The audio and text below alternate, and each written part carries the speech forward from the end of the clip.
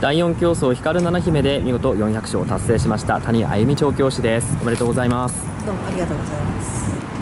今400勝率直な感想を。うんと別に取り立てて特に何っていうのはないです。あのここまで、えー、400勝までの過程っていうのはどんな感じでしたか？あまりその勝ち倉の数にこだわったことがないんでただのあの通過点かなっ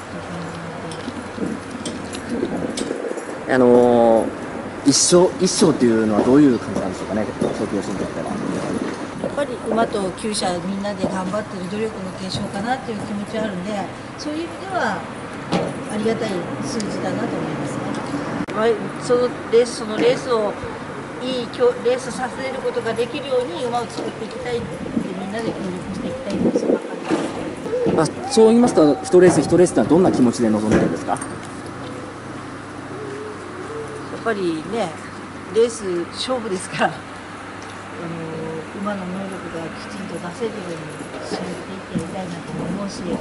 馬主さんややっぱ騎手もねみんな急にもみんな一生懸命やっていることなんでそれを勝つっていうことで表せれたら一番いいなと思います。あの女性調教師として、まあ、ここまでいろんなことがあったと思いますけれどもあの女性ならではの調教とかそういう厩舎運営とかってあるんでしょうか？それは私男になったことないからわからんです。えっとね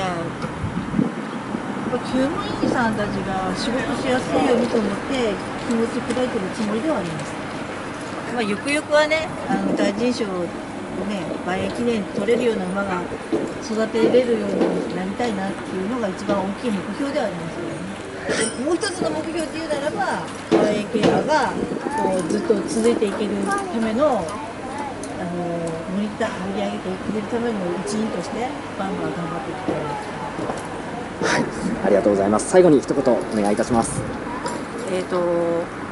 いつも厩舎を応援してくださってる皆さんあとそれからうちの厩舎だけじゃなくてファンエ競馬を応援してくださってる皆さんどうもありがとうございます。これからも頑張ります